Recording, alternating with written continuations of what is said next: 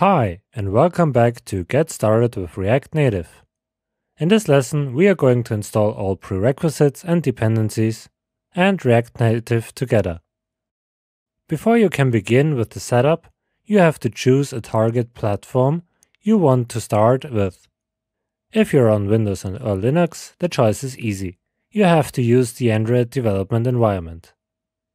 On macOS, you have two options. You can either choose Android as well, or go with iOS. The setup is a little bit different between these two.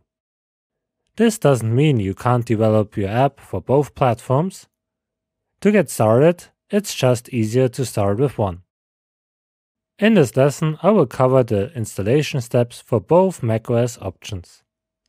Some of the setup steps for Android are similar on Linux or Windows, especially when it comes to configuring the SDK. Okay, let's get started. To install React Native on macOS, you need Node.js and Watchman. The easiest way to install them is by using Homebrew. You can do this with the command brew install node and brew install watchman. On Linux, you can install Node.js by using the install instructions for your distribution. On Windows, the React Native team recommends Chocolatey. Choco install Node.js install and Choco install Python 2 are the commands you need to use. Next is the React Native CLI. Be sure to install the CLI and not React Native itself. You need to use npm for that and run npm install -g to install it globally, React Native CLI. When you want to get going with iOS, then you have to download and install Xcode from the Mac App Store. This will also install the simulator and other necessary tools. After installing, you need to also install the Xcode command line tools, so React Native can automatically compile and run your code on the iOS simulator. Normally this gets done when you install Xcode or at least when you start it for the first time. And you're set. This is everything you need to get started with iOS. Let's try it out by generating a new project and running it.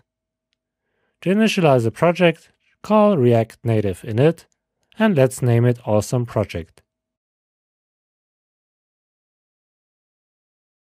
Then we change into this directory and run React Native run iOS. Awesome! This welcome screen means you're running your first React Native app. If you get an error about instruments not being found, make sure you have selected your build tools by running xcode select -r to reset the defaults. You might also need to use sudo for this. When you want to use Android, there are a few more steps to do. First, you need Android Studio, which provides the Android SDK and the emulator. You also need a recent version of the Java Development Kit.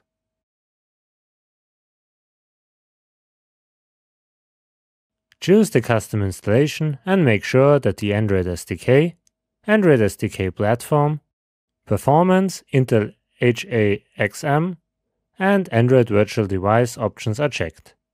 The performance option won't be available on Linux. Then we need the actual SDK.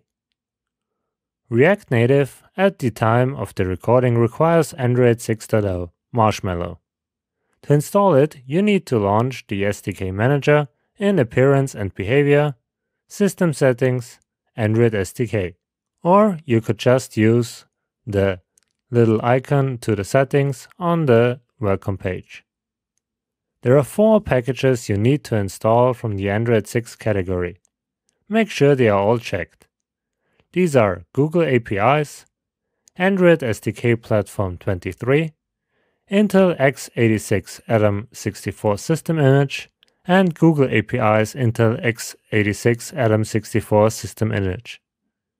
Finally, from the SDK tools, we need the Android SDK BuildTools 23.0.1 package selected. To download and install these, click Apply. The React Native CLI needs to know where the SDK is located. In your .profile file, for the shell you are using, export the Android home variable. These locations are the defaults. If you change them during installation, they might be different. For Windows users, setting an environment variable is a bit different. Please check the React Native documentation on how to do that. Before we can run our React Native app on an Android device, we need one. To create an AVD, launch the AVD Manager from within Android Studio. You can do that easily by opening the project in Android Studio and clicking on the icon that looks like a smartphone. You should already have an AVD that Android Studio created for you. We just need to tweak some settings. Choose Android 6.0 API level 23 under the target setting and Intel Atom x86 64 under CPU ABI. Then click OK and start the emulator. If you have a physical Android device, you can also use that after you enabled USB debugging on it. If everything is set up correctly, we can now run React Native Run Android in our sample project and see it in action.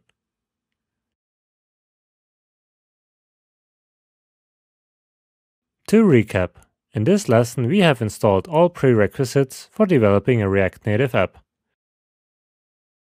In the next lesson, we will learn about the core part of any React Native project, components.